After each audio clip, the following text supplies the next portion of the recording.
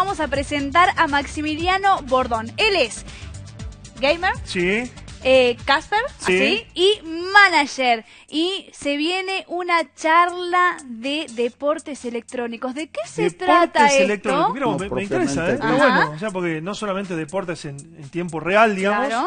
sino deportes electrónicos. Maxi, ¿cómo andás? Buen día, gracias por acompañarnos. Hola, ¿qué tal? Buen día. Perdón mi ignorancia, ¿qué, es, qué es ser caster? Bueno, caster es un término que se está usando ahora bastante Ajá. con el tema de los deportes electrónicos más. Sí. Es la persona que se dedica a relatar, a Ah, comentar los partidos en vivo y hacer, bueno, generalmente un análisis de lo que está O sea, sucediendo. vos haces eh, relato, comentario en el momento que, por ejemplo, Nancy y yo estamos jugando un partido de FIFA o un partido... Sí. ¿Es así? Exa- Exactamente, sí. Eh, suele haber dos personas generalmente. Ah, bien. Es como en un relato de un partido. De un o sea, partido. está el relator y está el, el comentarista, digamos. Exactamente. Eh, acá, bueno, se dice caster y caster, pero viene a ser lo mismo. Eh, la persona que habla, que se dedica este, a, a comentar el partido en sí, a relatar el partido en sí, y luego el co-caster por ahí hace un análisis un poquito más técnico de por ahí los errores que cometió el jugador rival Ajá. o los aciertos que hizo de tal jugador. Entonces, ¿Y hace cuánto que, que haces eso? Digo, ha- hablo específicamente de, de De- ser relator o de ser analista de Y hace deportivo. Ya un año que estoy con Un esto. año, ajá. Bien. Hace poco realmente. ¿Puedo, puedo hacer una pregunta que ca- quizás es un poco eh, tonta, si se ¿Por qué? A quiere. ver, ¿qué, qué vas a preguntar? Los errores que cometió a la hora de manejar, si se quiere, ¿cómo sería? Las Eh, yo- sí, combinaciones. ajá. Ah, ¿Eso, ¿eso eso analizan sería? también? A ver, yo eh, generalmente soy eh, caster de Clash Royale, que es un juego, bueno, de celular, ¿sí? Ajá. Bueno, uno contra uno. O sea, no, no solamente, digamos, tiene que ser un juego deportivo. Eh, no, puede ser cualquier eh, Eh, tipo de videojuego. puede ser, por ejemplo, Fortnite, puede ser... eh, Exactamente, puede Ajá. ser cualquiera. El Fortnite es un poquito complicado relatarlo, ¿sí? Porque es demasiada acción en pero, el mismo exi- momento. pero existe gente Pero que lo existe hace. gente que lo hace Ajá. y gente que es muy buena en eso. Eh, cada juego, digamos, tiene su dificultad. Sí. Eh, ahora, bueno, están viendo en pantalla lo que es Free Fire, que es uno de los juegos ahora Fire, tendencia en móvil. Eh, se hace ¿Ha también... superado el Free Fire, perdón, eh, que yo me voy Sí. metiendo eh, al, al Fortnite o, o están No, ahí? eh, la verdad que son dos cosas diferentes. Son Ah, dos bien. plataformas diferentes. Fortnite es para PC gaming, para Sí. consola. Eh, tenemos Free Fire, que es todo el tema del mundo gaming, pero móvil. Pero, todo ajá, para el teléfono. Si Entonces- tengo, mi hermana más chica está todo el tiempo, ¿viste? Mi, mi viejo le pregunta, ¿qué estás haciendo? No, y grita y juega. Bueno, juega este al, al Free Fire. El Free Fire, que Ajá. es un juego, bueno, ya todo el mundo, el Free Fire, el PUBG, son juegos Son que parecidos, ¿no? Ah, digo, al, eh, Fortnite la- son, tienen características tienen similares. características prácticamente similares, por ello Ujú. diferencia una que otra cosa. Eh, el objetivo es siempre lo mismo, sobrevivir, digamos, dentro del campo de batalla. Ajá. Eh, lo que sí, bueno, eh, ha tenido una alza bastante considerable y eso también trae eh, muchos inconvenientes a la hora de que la gente un poquito más grande o la gente que no está metido tanto en el gaming Sí. tenga eh, problemas al querer entender esto, porque muchos dicen, está todo el día con el celular jugando, está todo el día con esto que aquello. Claro. Y bueno, justamente con esta charla que vamos a hacer, eh, lo que queremos es informar un poco a la gente Bien. y que comprenda eh, lo que realmente significa estar jugando esto. Maxi, Claro. ¿cuándo van a hacer la charla? ¿Dónde va a ser? ¿Quiénes son los que pueden participar? Bueno, la charla está abierta a todo público, puede ir cualquier persona, eh, es más, está pensada para que vaya desde el más chico al más grande, porque vamos a abarcar muchos temas, tanto para los chicos que están jugando y son activos en el juego, y para los padres o para los tutores o la gente que acompaña a estos chicos para que se enteren y también puedan comprender el mundo gaming y puedan acompañarlos en esto, porque lo que sucede es que, eh, como es pasa en todo el internet, los Mm. chicos están expuestos a muchas cosas, Sí. como es el tema de la toxicidad que le decimos en el mundo Sí. gaming, que son bueno insultos y ese tipo de cosas. Muchas veces los chicos se ven un poco eh, opacados por eso, se sienten mal porque hay otros chicos que lo tratan de mal jugador, que lo insultan. Claro. Bueno, esto es algo muy común, muy Claro. típico. Sí. Competir con videojuegos es muy típico. Sí. Entonces lo que queremos es llevarle a todo el público posible eh, esta información, que ellos eh, sepan, que, pie- que pierdan un poquito esa desconfianza y que se adentren a acompañar a los chicos, porque lo importante de esto es que los padres eh, o los hermanos ujú. acompañen a los chicos y este también, como todo, digamos, no va a mandar a tu hijo a jugar al fútbol Claro. con 7 años Claro. con chicos Sí, más grandes. Maxi, vos ahí recién hablabas, ¿no? Quizás todavía nuestra comunidad acá en Argentina o, o específicamente Jujuy no está acostumbrado a que se lo llame deporte electrónico. Es como que, bueno, estás perdiendo el tiempo o estás jugando eh, a un jueguito, pero no se le da quizás eh, la importancia o el relieve que sí existe en otros lugares. Sí, exactamente. Por ahí el, el principal problema de Latinoamérica es el tema de que no, hay- no hay empresas, o son muy pocas las empresas que realmente eh, apuestan a esto y es porque la comunidad todavía está muy verde.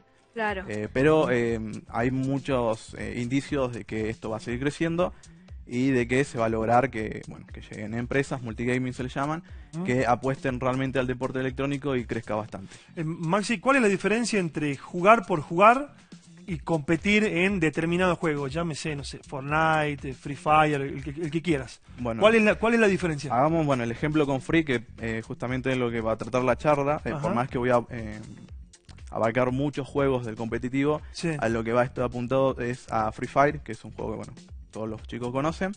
La diferencia entre jugar simplemente y competir es que competir lleva también un nivel de profesionalismo, lleva entrenamientos, es Ah. un, bueno, si hablamos realmente profesional, eh, un equipo que compite tiene psicólogos, tiene manager, tiene gente por detrás que trabaja con los chicos, no solamente sentarse y practicar a jugar, sino hay gente, hay coach, como su- suele suceder en los Claro, en la única equipo, diferencia sí. que por ahí eh, preparadores físicos no hay, pero sí hay gente que se médico y eso que por ahí examina justamente muchos problemas que Ah, tienen los chicos que juegan, que son enfermedades que pueden causar, bueno, por lo tanto estar, digamos, Claro, en la las manos, en las el articulaciones. en- son eh, que hoy en día, bueno, uno piensa que es realmente una, una tontera, algo tonto pensarlo, pero realmente hay enfermedades que te claro. afectan. Eh, a la mano por uno estar tanto Claro. digamos, tecleando y jugando con el Sí. mouse y todo eso.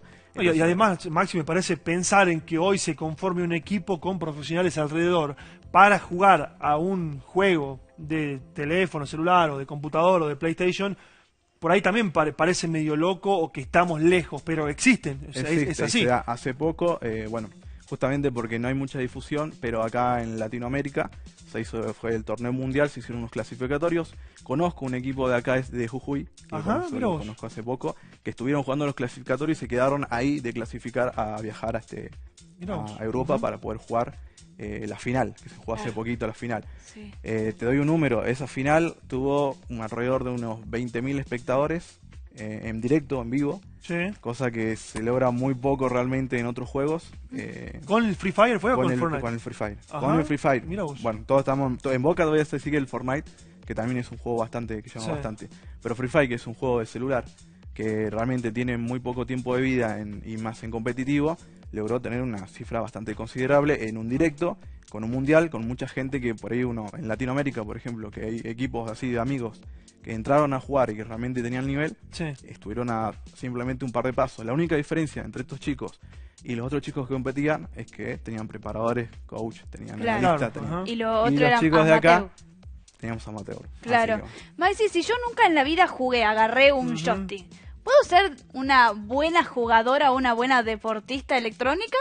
Eh, hay de todo tipo, uno puede participar hasta en el Tetris, y no te miento, Ah, eh, bien. es verdad. Eh, si tuviera un video ahora te lo haría ver, pero hay un mundial hasta de Tetris. Eh, es más, hubo un señor que estuvo como tres años invicto en el mundial de Tetris. Sí, sí, he visto. vi- El año pasado creo que pasábamos algunos videos de lo Bueno, que era el, el Eh, Mundial de Tetris. El mundial de Tetris. Sí, sí, sí. O sea, hay de todo tipo. Hay juegos hasta de consola, de PC. Ahora está mucho el tema de los que son los celulares.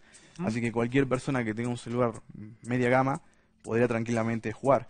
Eh, no sé, a ver qué juego puede ser. Pero Free es un juego que eh, se juega más en compañía. Entonces, por ahí eh, lo bueno es que vos podés entrar, por ejemplo, podemos entrar los tres, Ajá. alguien más, no sé, el que esté grabando. Sí. Entramos, practicamos los cuatro, una o dos horas al día. Bueno, son una o dos horas, pero hay que hacerlo.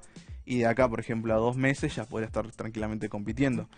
O sea, hay que entrenarse para después Claro. poder ser bueno en, en algún Cualquier X juego. Te doy un, un número. eh, ahora dentro, creo que a mitad de año, eh, lo que es Clash Royale, viene lo que es la, el Sí. evento mundial de clanes. Ajá. Y este hay gente que entrena prácticamente ocho horas al día, trabaja, digamos. Ellos entran Claro. en lo que se llama la, una casa de juegos que tiene la misma empresa, le da. Ellos entran, juegan ocho horas, están jugando, haciendo análisis, eh, viendo qué cartas usar, Estrategias. estrategias, Claro. Todo tipo de cosas.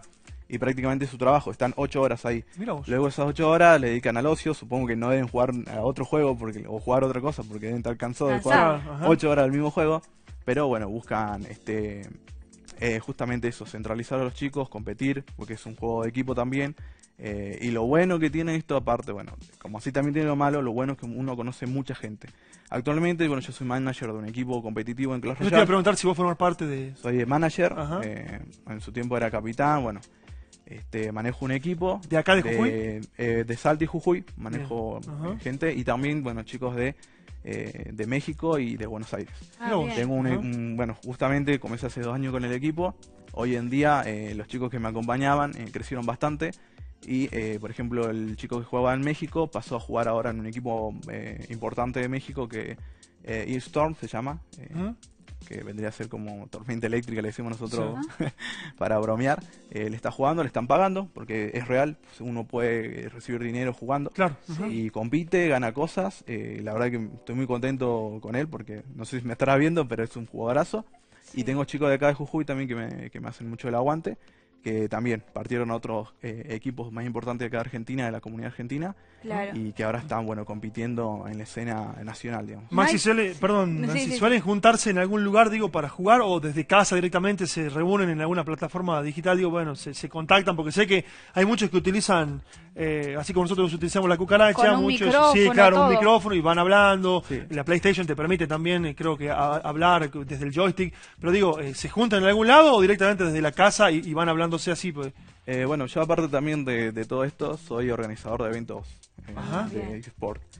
Eh, llevo también dos años haciendo esto y lo bueno es que pude conocer a mucha gente que solamente la conocía, digamos, por, por, lo, por claro, el por- ajá, sí, sí, sí. Entonces eh, hice varios eventos acá en Jujuy, pero fueron realmente bastante chicos, no le di tanta difusión porque recién comenzaba, pero mi foco más grande era en Salta, que ahí llegué a hacer un evento bastante grande, eh, traje a dos chicos que son representantes, uno el capitán de la selección argentina de Clash Royale, el otro Ajá. es un caster, es digamos la persona que me inspiró a mí a llegar a ser, eh, es un caster a nivel Latinoamérica y también mundial de español. Este, ellos viajaron a Salta, me hicieron el aguante. Eh, hicimos un torneo, estuvo toda la comunidad de Salta y lo conozco a la mayoría de la comunidad de Salta, por lo menos de Clash Royale. De otro juego, bueno, los conozco simplemente por el tema de los auriculares y nada más. Claro. Pero se solíamos eh, hacer reuniones, eh, íbamos a jugar a la pelota, todo. Eso es lo bueno que tiene esto. También haces, amigos, no solamente... Sí. No solo justamente, eh, bueno, con chicos de otro lado por ahí es complicado, pero bueno, con chicos que por ahí están en la misma zona. eh, pueden sí, juntar. nos juntábamos a jugar a la pelota, nos juntábamos a, a, no sé, a ir a tomar unos mates, a Claro, charlar, a charlar a un hablar, poco, a conocernos. eh, A conocer, eh, a ponerle cara quizás a la voz que escuchás, ¿no? Por un Claro, auricular. también. Bueno, Ajá. me pasó que conocí a un chico que eh, no lo conocía en persona, no tenía redes sociales y un día fue a un evento y cuando lo vi él me dijo, hola, yo soy, bueno, se llama Marcelo. Ajá. Mejor yo soy Marcelo, y era un pibe de dos metros con una voz de locutor y yo pensé, este... Claro, uno, y, uno, y vos lo ves. Y Uno bueno, también se va imaginando, ¿no? Claro, Cuando escuchás a la cual. y gente. me miraba y vos sos el nube, me dice yo, el peticito así, digo, sí, sí. Y bueno, y ahí nos conocimos, la verdad muy buena onda, conozco mucha gente también de acá de Jujuy. Eh, hay casos particulares que conozco, hay un, un equipo muy, eh, muy conocido a nivel nacional en la comunidad de lo que es Clash Royale, que mm, este, ellos hacen, se llaman Chos Argentina, es el equipo, y ellos, la verdad que son los únicos creo que se juntan desde todo el país en Buenos Aires para hacer una especie de juntada así. Ah, mira. Eh, es, digamos, uno de los clanes eh, que en Clash Royale famosos por eso, digamos, porque Claro. se juntaron de todos, o la mayoría, Sí. eh, se centraron. Maxi, ¿podés volver a repetir dónde va a ser la charla, taller? Eh, ¿Cuándo, bien, dónde? el día sábado 11 de mayo, a partir de las 18 horas, bueno, Argentina, me sigo, sigo diciendo horas argentinas porque Claro, sí, estás manejo acostumbrado. de todos ajá, lados, sí, pero sí, bueno, el sábado 18, a las 18 horas, perdón chicos, va a estar el, la charla taller, que va a incluir todo lo que estuvimos hablando ahora, más explayado. También vamos a estar eh, haciendo bueno la, reco- la recolección de alimentos no perecederos, de elementos de limpieza o lo que usted quieran donar para la casa San, eh, el hogar San Antonio, perdón. Ajá. Para lo- tiene un fin solidario tiene también. un fin solidario y aparte de eso vamos a estar eh, inscribiendo a los chicos, sí, porque el taller va a ser eh, un torneo eh, online, sí, cada uno va a jugar Sí, en sus casas ajá. por un tema de que bueno el lugar no se puede utilizar para esto, Sí, pero se van a poder inscribir ahí el mismo día cuando termine la charla Bien. al torneo de Free Fire que va a tener eh, premios, 10.000 diamantes en premios, que son bueno, los diamantes son la moneda que se usa dentro se usa del juego, juego, y se pueden comprar cositas ahí. Claro. Así que le hago la invitación a todos los chicos que quieran jugar y también enterarse del mundo gaming y a las personas que estén interesadas, ya sea la edad que tengas, no importa. Eh, La charla es informativa y voy a tratar de explayar y explicar Bien. todo lo que se pueda. Eh, están más que invitados. eh, va a ser en la en el centro eh, el cine auditorio, perdón, eh, ubicado en Independencia, esquina Italia, que está al lado del Ministerio de Salud. sí. Así que nada, o sea, le hago la invitación a todo el mundo y a los que Bien. quieran pasarse ese día. Y si se quieren comunicar eh, con vos de forma privada por algún tipo de información extra, ¿lo pueden hacer? Eh, sí, bueno, ahora tengo manejo muchas redes sociales, todas las que conozco, Instagram, Facebook. Eh, también tengo canal de YouTube. eh, y en Twitter me pueden encontrar como el Nugue. eh, El Nugue. el Nugue, eh, todo junto, este, con 2G. Ahí Ajá. está. Eh, así me pueden encontrar, son todas mis redes sociales. Ustedes Bien. ponen en el buscador y ya salgo en cualquiera de las redes sociales. Me mandan un, un mensajito privado, me dicen, mira, yo quiero saber cómo es y yo le explico, no hay ningún Bien. problema. digamos. Bueno, Maxi, muchísimas gracias por habernos acompañado y estaremos atentos a estos este avance de los Mirá, deportes electrónicos. Pará, Está bueno. porque mirá si voy yo y después me convierto ¿Y en... quién te dice? ¿Y quién te dice? Gracias, Maxi, por Manager. habernos No, gracias a acompañado.